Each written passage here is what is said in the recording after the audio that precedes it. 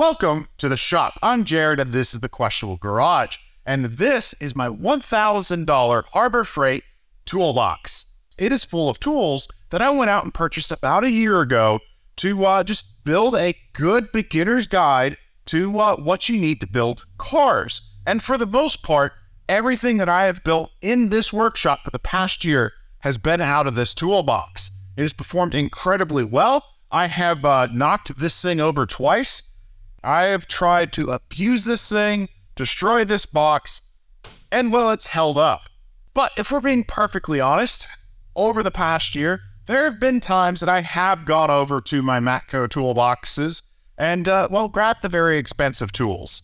So, today's going to be a little bit special. After a year, it's time to grow up. It's time to uh, move up and out of our awesome starter box. This thing's been amazing and go into something a little bit bigger. Just like you guys, if you're graduating your trade school, if you're wanting to upgrade your home garage, or you were, you know, already in a workshop ready to move into something a little bit bigger and better than the Yukon and Quinn set. Now, we're not going to throw everything away because, well, it's proven itself. These things have done absolutely amazing, and we're going to move almost all of this over into the new box along with uh, adding in some other tools that we picked up at Harbor Freight that uh, I wish I knew why so many flies came in here.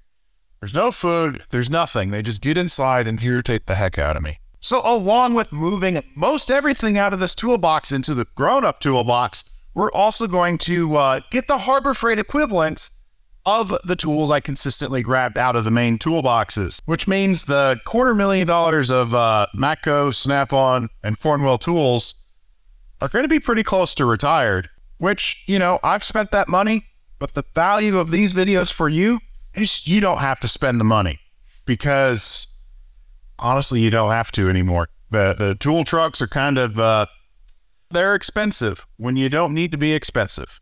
Now, you hear me referencing the new box. That's because we have a new box here, and uh, it's kind of special. Now, for those of you watching this months down the line, this isn't quite as exciting as it is right now because I have. Well, here, let, let me roll this one out and uh, let me pull in the new toolbox and uh, show it to you because it's the first one in a workshop.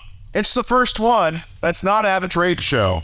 And what's crazy to think is this entire relationship and the fact that I get to have the very first one, period, is all because I threw a pair of pliers at a wall and said, don't buy this. They're junk. And, you know, I kind of stand by that. Uh, I would not buy another set of those Pittsburgh pliers, but, uh, look at this beauty. Here, let me, let me turn it a little bit. My viewfinder's small on the camera. So, all right, I'll, I'll look over the top of the box, see how it does on focusing. What you are looking at is the very first Series 3 U.S. General toolbox and hutch. They've never had a hutch before. I've got a hutch in slate gray out in the wild. They've shown these a little bit at SEMA and some trade shows, but nobody outside of Harbor Freight has gotten one. So we get to tell you what I think about it before we put our tools in it.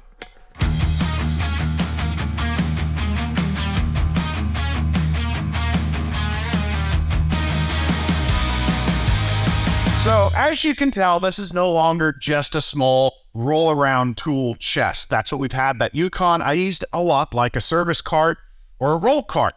It was easy to roll, get up to your car, and uh, had a work surface that you can kind of abuse. Now, this is a proper toolbox. It's meant to kind of be more stationary, not roll around as much, and house all of your tools. And I'm really excited to have it. One, not just because it's the first one, and I get to give you a uh, real honest opinion of what I think of it, including some things I found wrong, but I can speak pretty strongly about what this box is meant to go against. It is the Snap-on K series line. It's their entry level, you know, just kind of entry plus. It's not their cheapest of the cheapest.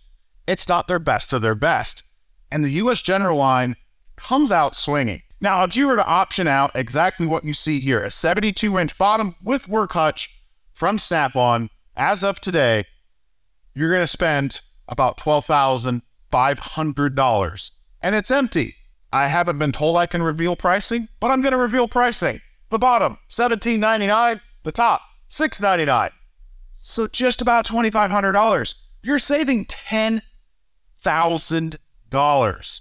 That's a, a car or some of the cars we buy that's like four cars, or you're going to completely fill this thing out. So we're going to go into the ins and outs of the new Series 3, what they've improved that I'm aware of, and then we're going to go over what we're going to fill in it um, with our $10,000 in savings. About this box. So again, it is in a slate gray. I like the black finish with the slate gray. If you've ever seen my Matco box in the background, it's a black cabinet with uh, kind of a slate gray face and drawer set. One thing you will notice in person, it's incredibly hard on uh, camera, is anytime you have these large flat surfaces, you're going to have a little bit of a dimple where you have the spot wells. You're going to have it on a $700 cabinet. You're going to have it on the uh, Snap-on $4,200 cabinet and on my $25,000 Matco 6 series. You have it. It's flat sheet metal. It's going to happen. That's not a $700 versus expensive thing. Deal with it. One thing I really do like is how this hutch opens. It's dash shot, tilts right up. One thing you do have happen because of that, you lose a little bit of the square storage. You know, like it's not all of this room for storage if you're throwing a bunch of junk in here because the door swings into it. But in comparison, on my really expensive Matco 6 series, you lift the door up and you slide it in. So you have all of this space, but you're lifting a relatively heavy door, whereas this is a nice, effortless movement. Now, at this time, as far as I'm aware, they do not have an integrated light solution, but that is something you can rectify fairly easily by just getting a bulb set that will sit here or a magnet one that you can fit in the back. There's about four inches. One thing that I do call a plus on this is you've got four built-in pass-throughs for your power supply. So you're going to have your scan tool or your laptop sitting in here, easy to get power out wherever it's convenient. Whereas on a lot of the other boxes, you get one spot. That's where they send the power. That's where you got to accept and live with the power coming through. Comes with a nice rubberized bottom that, you know, it smells kind of like the rubber you get on the cheaper stuff, but it's going to be a nice non-flip surface. You get a screwdriver set and just a general bucket for your slot storage, but I'm sure there's more options available. The drawer guards, the slides everywhere, these are really nice. It is a big improvement over what they used to have. Of course, our cheap Yukon, I've knocked them off a couple times. These are integrated a lot better. I do know the biggest complaint on this Series 2, the last version of this, is your drawer locks were all on one side only big, huge improvement. Drawer locks are now across the entire view of toolbox. Now, another really big improvement, in my opinion, and it's something I look for in my toolboxes, is the wrench drawer and the socket drawers being deep enough. One of my biggest complaints on my little Yukon is you couldn't stand all your sockets upright. You've got a nice, what would it be? I think 51 inch wide. I don't know inches. It's it's a wide drawer that traditionally you're going to throw all your sockets in the top drawer. There's lots of storage for it, but right below it, you get the deeper drawer set for your wrenches, which is a big perk. I really appreciate that. Another thing, just to get the big deep drawers that are very traditional on the top tier toolboxes where you're able to throw bigger stuff. You got a welding mast for your own grinding mast, big tools. They could drop it here. And then right here, we got ourselves a power bank. I'll be honest, it's possible most toolboxes come with it this way now, but on my Matco box, the cords are kind of a permanent fixture. Whereas on the Series 3, you're able to plug and unplug them, which is nice for moving because you can easily damage it. So you're set up with six plugs and a power strip in here for whatever you want to charge. Like like your batteries, that's probably what you're going to charge. Now, this is something I would need to find more information about. Uh, they did not come keyed the same. So you have the key for the bottom, the key for the hutch. I'm fairly certain you could probably get matching cylinders, and I would change the one in your hutch because that's a lot easier than changing the lower box. When this arrived, it came in a big freight container. One thing I really appreciated is they give very clear instructions how to get it out of there, and they include a little wooden bridge for you to be able to safely roll this down. I was able to, on my own, get this thing safely down and off of its pallet without too much fuss. Now, it did take uh, grabbing a neighbor to help lift and set the upper hutch on, but it is just a simple process of two people grabbing it and setting it on there. Now, my two biggest immediate complaints on the box as it came off. The casters don't roll the best. They just take some effort. Now, granted, this is a box that's generally meant to set it and forget it. You put it up against the wall, but the $400 box rolls a whole lot nicer initially, on my opinion. Um, it does not turn the best, and that's something where I do know it's being addressed and already being kind of looked into. There was no grease at all on the swivel casters when I got my box. Once it was greased, it does start to roll a lot better. It doesn't handle that my floors in here are pretty good, but I do get a little bit of teeter um, from the casters. So out the gate, casters could be a smidge better, but realistically, you're going to slide it into position and it's going to stay there, and they're going to do very well for that. Locks work very good. And one of my other complaints is in the finish. Now, it looks a stunning from the front. I love the color. Reminds me a little bit of Nardo Gray, which, you know, everyone has put on a car ever since Audi has done it. But on the backside, I can see kind of a spot where it looks like they had to touch up.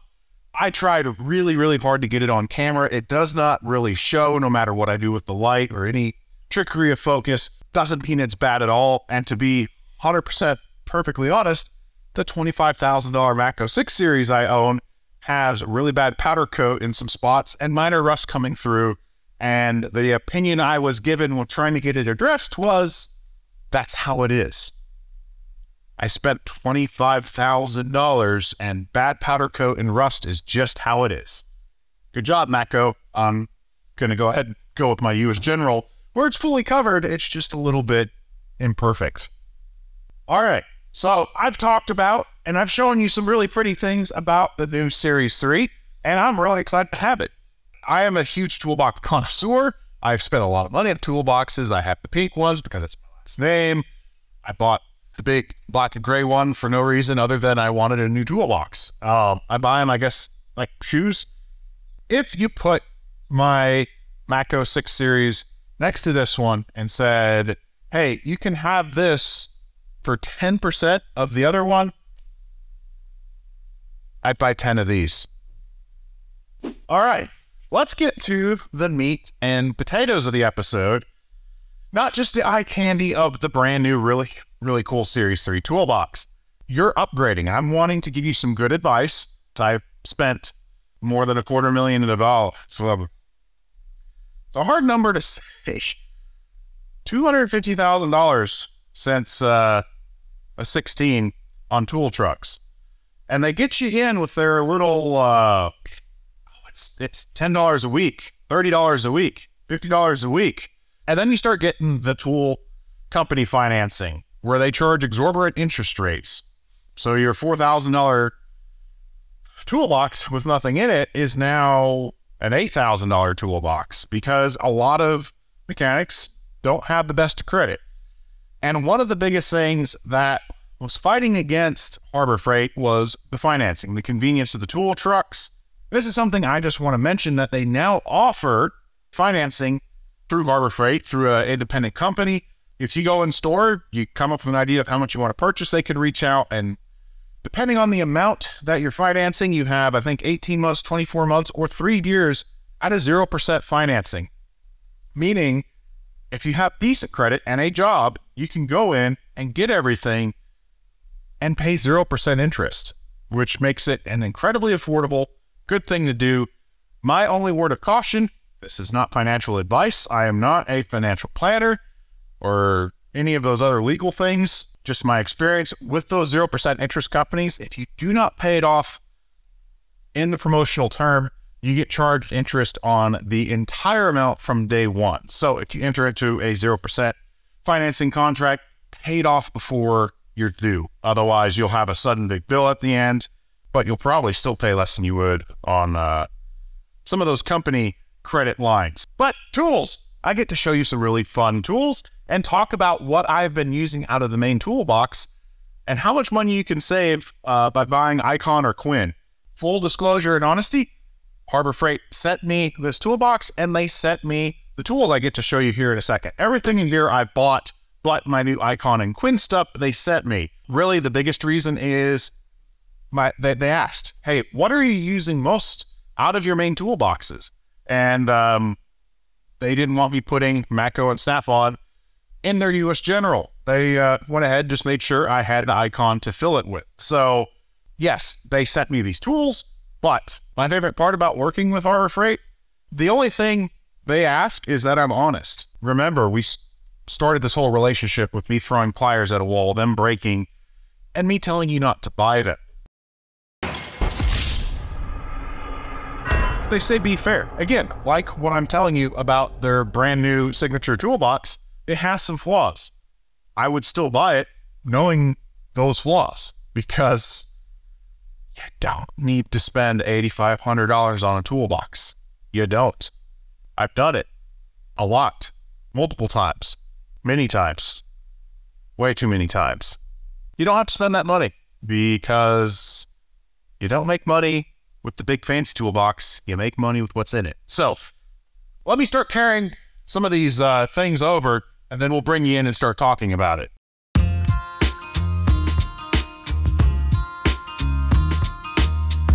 I have two sets of these, which means I can try to break these. Snap-on is really proud of their new fancy pliers that can pick up dimes, and uh, Icon has pretty much a competing set, so uh, I have two. So maybe we could try some dimes or uh, just trying to break this, because uh, I have two sets.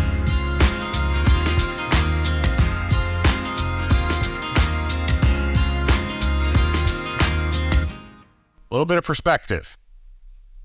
This box, not completely full, has a lot of tools in it. And the box. All of these tools here, tools here, this cabinet is less than just the snap-on cabinet. Just a cabinet, no tools. There's some good value here.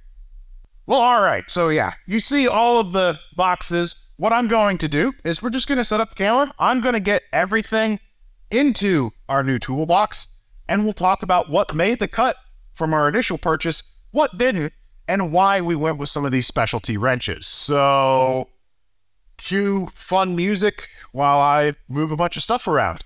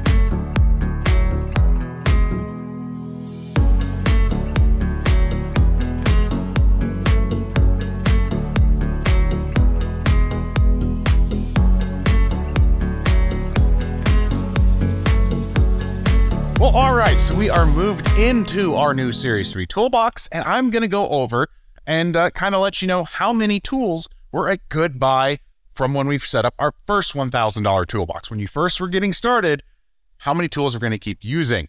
Now, one thing I do kind of want to just cover, because we're uh, talking about everything honestly. One of my biggest complaints really with the Quinn toolkit was kind of how much wasteful packaging there was. There was a lot of plastic. And once you were done unboxing everything, there just there's a little too much waste left behind. And, you know, they're dealing with retail packaging. It has to be nice on a shelf versus a tool truck.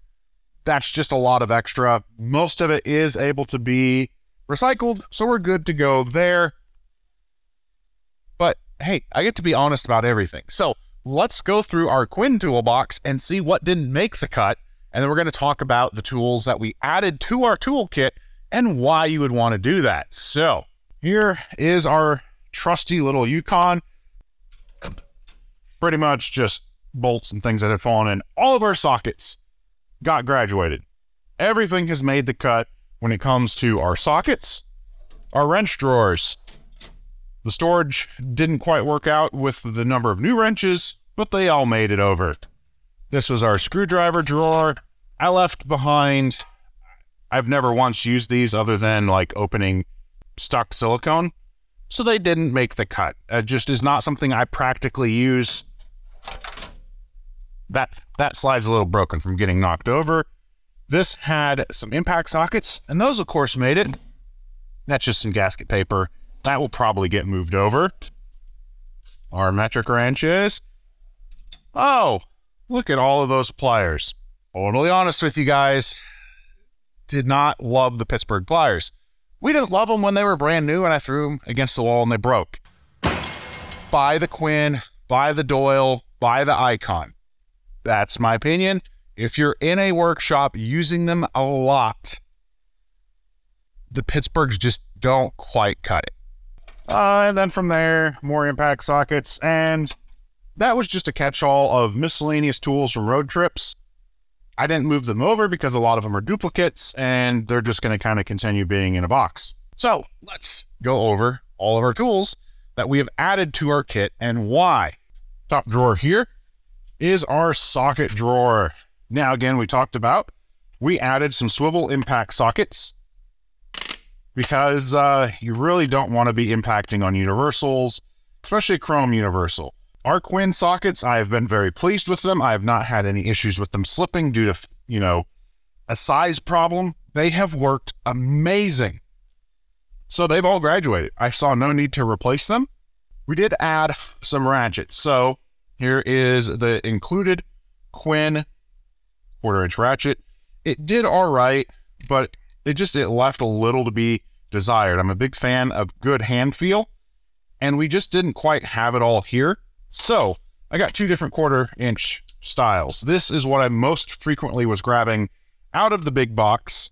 And this I really like because you can turn it straight, kind of use it as a ratchet driver. You're able to just get in a really good, convenient position with it. And then just another nice, there we go. Learning the new camera, guys. We'll get it all right. Another nice sealed style ratchet, both fine teeth. And we did the same thing, except 3 eighths. It's done well. It should have broken many times, and it hasn't. Um, so we're keeping that as our primary short one, and we added a long handle flex head 3 eighths. This is a tool I very frequently was grabbing, a uh, name brand equivalent out of the big box. Moving up into our half inch, again, the Quinn, and then I added a slightly larger uh, Comfort Grip Pittsburgh they've done well. Haven't had problems with them, but there are times you need a little bit more. So I got a longer flex head again, icon ratchet, and then uh, don't use your ratchets to break things loose. Get a breaker bar. So we added a breaker bar. That was one of the other things I consistently got out of the main toolboxes. And then, of course, we have got a really nice icon half inch torque wrench. And then I got a Quinn just a standard clicker style 3 8 torque wrench for the smaller bolts. These work very well. They have tight tolerances, so those were things I was grabbing out of the main box. So the best thing I can recommend simply when it comes to ratchets is think about the type of work you're going to be doing and what's going to be the most important thing for you. Flexible heads, a comfort grip. It's one of those things that there are subjective things that make a ratchet better, but you're the one using it in your hand. You want it to be something you like. So just because someone tells you something's better, try it out, feel it. This is the style of ratchets I consistently found to be very good and grabbed almost all of the time. I could go to the wrenches next, but let's look at our new plier drawer because you'll notice one thing. If I'm, I said none of the Pittsburghs made it. I lied. One of the guys did make it over. This little chunky boy worked out really well. It's a non-bolted style, and I've been very pleased with it. These are the main style of pliers I consistently were grabbing. Small needle nose, channel locks. I love these. These are kind of like a quick crescent wrench almost, where you can push and adjust, and they're flat jaws designed to just quickly turn fasteners. Really good for doing alignments. And just again, for quick, easy things, love that style. I always extended straight and slightly angled needle nose. And then if you're going to do wiring, or anything with zip ties, please, please buy one of these. These are flush cuts. When you pull a zip tie and you use normal diagonal cutters, you leave a sharp little edge that slices fingers open. It's actually, you know. So these get really tight. I'm oh, it does focus that close. They get really tight and will give a nice clean edge. So if you're using zip ties, please get them. And then this is that special needle nose plier I was talking about. I've got two of them. Before we're done, I'm going to abuse these and see what happens. They show you picking up coins and things. If you're not picking up a dime, like there's no point in it. Just off camera for fun, I picked up a razor blade. But let's just see what we can grab and potentially lift with these magical pliers. We'll do hammer, dead blow, and a dead blow ball peen I really like. This is an impact driver. This is for like the Honda screwdrivers and hub screws and things like that. Anyone who's used one of these has probably gotten their hand at least once. Whereas this has got a nice little flange to uh, help you if your aim's not totally true. All right, wrenches. So they send those cases, and I just couldn't fit because uh, we upgraded our wrench collection substantially. And I have found in all of my years, wrenches really have been the thing I use the most of, and you need the biggest selection to do what you need to when you're working on different cars. Now, if you notice, our Quinn made it over. They have done very well. Sometimes I ran into issues where they weren't like absolutely perfect fits or there's just enough tolerance that on a rusty fastener, it couldn't quite get it. Now, one thing to note about the Quinns is if we look there, these are smooth jaw, smooth jaw, smooth mouth. They're just good basic wrenches. These are what you're going to want to use if you have a decorative fa fastener, something that you can't risk putting a mark on because, well, they're smooth. But in the real world, when we're working on some old stuff, you are going to have fasteners that want to slip and round. So that's where I got a set of these. These are the non-slip. These are designed to bite into the sides and they cam in just a little bit and do a really good job. So I got these because very consistently I was grabbing my flank drive wrenches anytime I had to use an open end just for that reason right there. The other thing I got a whole lot were my stubby flex head ratcheting wrenches. Because there's times that once you've gotten your fastener loose, you just have to ratchet it out and you're in there and it's it's it's not fun. But you can hear too. Let's see. Focus is going crazy, but it's got a nice fine come on, there we go. Nice fine head to it. I was very pleased with the quality of these, so I got a set of them. Another incredibly important wrench that I grabbed a whole lot were these offset wrenches. They just have a nice little step to them, and there's times that they're the perfect thing to get just around a distributor, something like that. Basic set of ratcheting wrenches. It would seem odd. You got your stubbies. I use these quite a bit, so these fit very, very well. What's nice too is sometimes you just need to ratchet a little bit, but not take it completely off, or you're working on a stud so the reversible ratchet wrenches, really good. And these are also non-slip. Enough for really important little guy. Just normal stubby wrenches. These things work amazing in certain situations. And then this is the row of just kind of my heroes. These are nice and long. You have good leverage because of that length. Something to remember the measurement of torque we most commonly use in the US is foot pounds. So if you can make it two feet, you have to exert half the pressure to uh, apply that torque. So having the right length is very important. And then these are another really good thing reversible, offset, swivel head ratcheting wrenches. Now, these come in super, super handy if you're doing a lot of oil changes. They're paired in combo sizes. I know that that's where they've been used a ton when I was in the dealer. I just like them. That's just the metric drawer. So we got pretty much the exact same complement of our SAE wrenches. Same exact reasons. I just did not quite get all of the wrenches in SAE because I do not use it as frequently. Buy the sizes you need.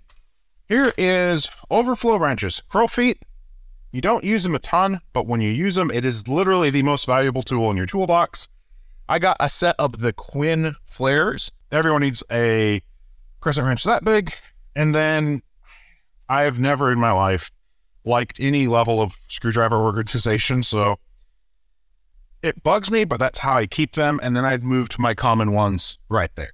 Then my last one, that's a real nice set of snap ring pliers. You need snap rings working on transmissions, axles. It's they're just they're everywhere. And a good set is absolutely crucial. Let's go ahead and set up. I'm going to kind of give you my uh, final thoughts, and we're going to break down costs. Well, all right. I said in that last clip we're going to go straight to my thoughts and kind of costs, but then I forgot. We're going to try to break these pliers. So here's a scrap pile. This is an old 4Runner tank. See where I'm pinching down? One hand. Okay. Also, this has got a lot of water in it since it started raining. You're like, it's off the ground. Just. That's impressive. Crankshaft by the reluctor wheel. Can't grab it there. Okay, here we go. This is hardened. Yeah. Okay. Holy cow. I mean,